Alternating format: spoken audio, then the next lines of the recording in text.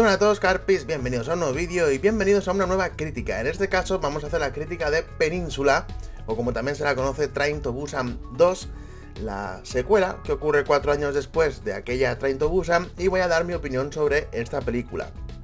Aviso de que este vídeo contendrá spoilers, como suele ser habitual en mis críticas, así que si no habéis visto la película y no os interesa destriparos nada, pues podéis verla perfectamente, aunque no tengo muchos spoilers que contar realmente de esta película.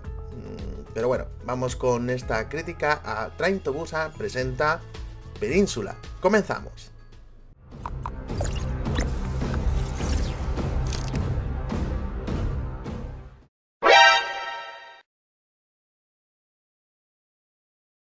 Vamos a empezar con la crítica de Península. Como siempre voy a deciros eh, la sinopsis oficial, que habla sobre, bueno, después de que la infección que se extendió hace cuatro años, solo algunas partes de Corea del Sur permanecen resguardadas, aunque la península de Busan es la única parte en donde pueden buscar refugio los coreanos.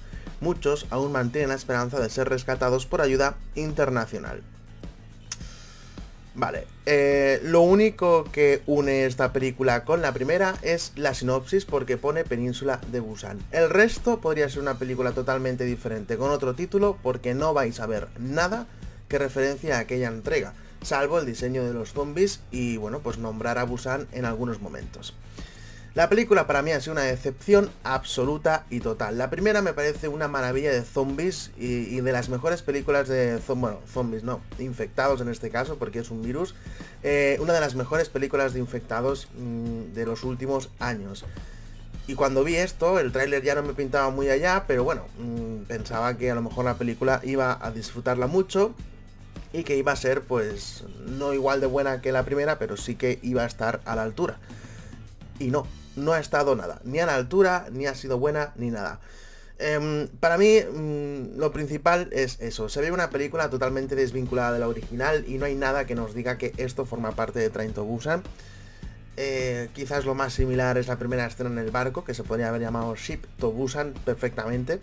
Eh, y, ubicar la, la, película en un barco y así podría tener cierta esencia como tenía la primera ubicándola solo en el tren pero en el momento en el que ya pasan a lo que es la península, a lo que es fuera, em, para mí es una cagada. Eh, está claro que ya sabíamos de qué iba esto, que se iba a extender todo el virus este por todos lugares y sabíamos que no se iba a concentrar en un lugar cerrado como en la primera, sino que iba a ser más expandido, eso se sabía. Pero mm, yo que sé, me esperaba algo mucho mejor. Por ejemplo, em, hay cosas que, me chirriaba mucho, eh, hay escenas de, acción de, carretera con coches y zombies y demás extremadamente digitales, hasta los coches son en 3D, porque se veía una diferencia en la velocidad que tenía el coche, parecía que estaba acelerado como iba a cámara rápida, pero los zombies iban a cámara normal y luego te das cuenta de que es eh, simplemente que todos los coches o casi todos los coches que vemos son realizados íntegramente en 3D con sus movimientos en 3D y eso pues no le da el realismo que si fueran coches reales con choques reales, ¿no? Que creo que mola más. Y hay varias escenas que, son así. Después, eh, quizás la escena más eh, llamativa puede ser la primera del barco que he comentado antes o la de cuando los encierran a algunos supervivientes y los ponen frente a otros infectados y el que sobreviva durante un tiempo es el que pues es el que se queda vivo y el que no pues se convierte en zombie y se une a la lista de esos zombies que atacarán en siguientes juegos. Pero tampoco es que llame mucho la atención. Los personajes que hay, la verdad es que te la pelan bastante. Así como te preocupabas por el protagonista de la primera entrega, por el niño, incluso del, otro chico que, que había, el del bigotito cortito, eh, aquí no, aquí te dan igual todos, entonces además duran poco y, no sé, es una película que, no me ha gustado. Para mí lo mejor que tiene es la paleta de colores, visualmente es una película que está muy bien, la iluminación me ha gustado mucho y también los actores que hacen de infectados. Los movimientos que tienen estos zombies son geniales, igual que fueron en la primera película, igual que lo son en, otras películas coreanas de zombies. Esos movimientos eh, que tienen son geniales y lo hacen bastante bien, igual que el maquillaje que también está bastante bien. Pero lo que es la trama, mm, desarrollo y todo lo demás es bastante bluff. A mí me aburrió bastante en muchos momentos. Eh, se le quiere dar un dramatismo que a mí no me llegó, sinceramente. Y la verdad es que ha sido una decepción total. Creo que Trento Busan se debería haber quedado así, como Trento Busan. Ahora en septiembre Netflix eh, estrenará una película titulada Alive, también de zombies y también de Corea. Así que obviamente esto también la veré, traeremos la crítica aquí y a lo mejor la comparo porque la temática es la misma, pero creo que tiene las de ganar sinceramente, porque esta me ha defraudado muchísimo. Obviamente, eh, como sabréis, es una película que se ha estrenado en Corea solamente, aquí en España llegará a Sitges en octubre, pero yo quería verla ya porque eh, pues le tenía muchísimas ganas, así que la he visto, pues ya sabéis, de esas formas que las vemos, ¿no? Pero bueno, eh, ahora mismo en España tenemos estrenada Tenet y Nuevos Mutantes, así que ir a verlas al cine. Y sobre esta película, un poco más, lo dicho, ha sido una, decepción. Em, la banda sonora tampoco es que sea muy destacable, mm, pasa sin pena ni gloria, aunque tampoco lo fue en la primera entrega, la verdad. Pero yo creo que, que se ha perdido todo lo bonito o todo lo bueno que tenía la primera entrega se ha perdido en esta totalmente. Y es por eso, por el hecho de eh, no ser igual, no igual no, pero no seguir la misma esencia que seguía aquella. Está claro que es la evolución natural de un virus así, es decir, el virus expande y la historia es la lógica. El virus expande y la película pues te cuenta cómo están las ciudades en las que este virus se ha expandido, eh, si existen refugiados y no y tal. Lo que es la, la historia vírica, digamos que es la lógica para un sitio así, ¿no?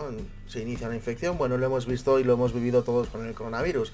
Se inicia una infección en un sitio, pero va pasando de un sitio a otro hasta que al final es una pandemia mundial. Lo mismo pasa aquí. Pero creo que no está contada o no está desarrollado de la manera correcta, o por lo menos a mí no me ha llamado eh, mucho la atención. Como digo, el tema de las iluminaciones y la paleta de colores es asombrosa y brutal, pero por lo demás no es nada más que te llame la atención, ni, tampoco me ha parecido eh, muy, muy interesante.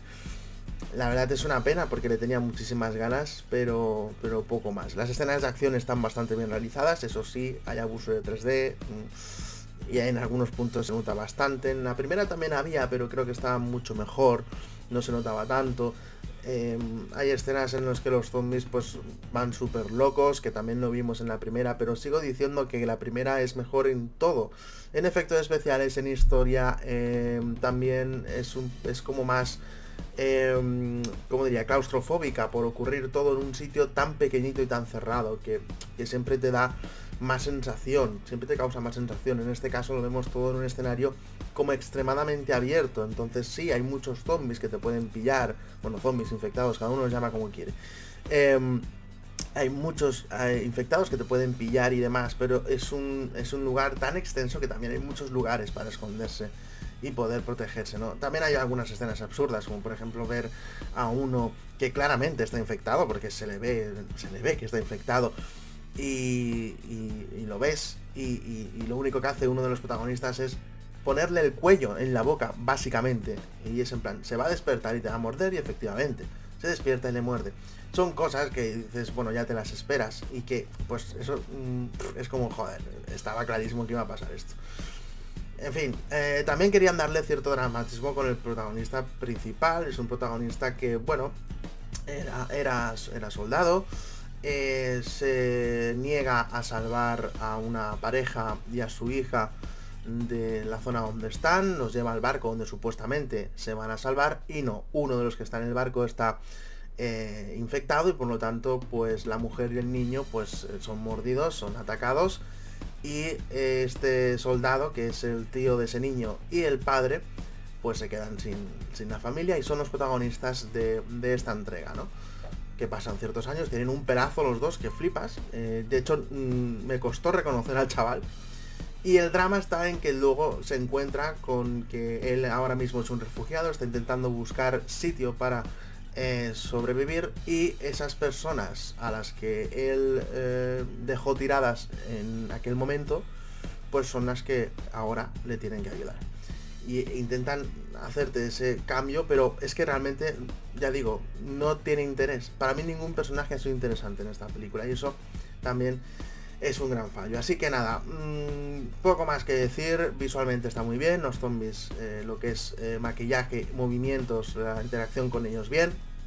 pero el resto es un bluff muy, muy grande. No se nota nada la esencia de Trento Busan, no parece para nada una secuela de Trento Busan. Argumentalmente sí, lo que es el tema de la, del virus sí, porque se expande y tal, pues podríamos decir, y pondríamos casos como 28 días después o 28 semanas después, la evolución natural de un virus que se va expandiendo, pero eh, en, en 28 días y en 28 semanas está muchísimo mejor contado que lo que vemos en Península. Así que ha sido un bluff. Espero que no estiren más el chicle, creo que Train to Busan ya es buena como es, de hecho en cuanto pueda la volveré a ver para olvidar Train to Busan 2 y bueno, si queréis verla obviamente estáis en vuestro derecho de verla y decidir por vosotros mismos si os gusta o no os gusta, pero a mí ya digo que ha sido una decepción y me encantaría saber vuestra opinión si veis esta película.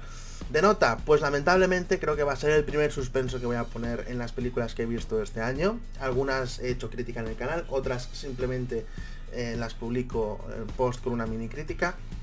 Pero de este año creo que es la primera suspendida, esperemos no tener que suspender más, así que le voy a dar un 4 gracias a la iluminación, a que visualmente se ve muy bien y a los infectados, sus movimientos y maquillaje. Lo demás, nada, un 4.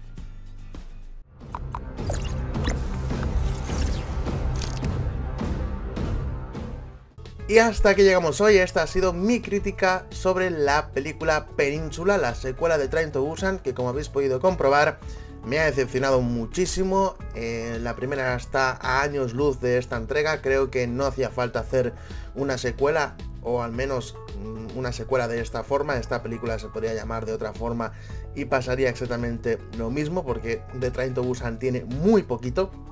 Así que nada, eh, ahora dejarme en comentarios los que hayáis visto esta película, qué opináis sobre ella, eh, si os gusta, si no os gusta, si queréis que continúen, porque hay rumores de que eh, querían hacer una tercera y cuarta parte también.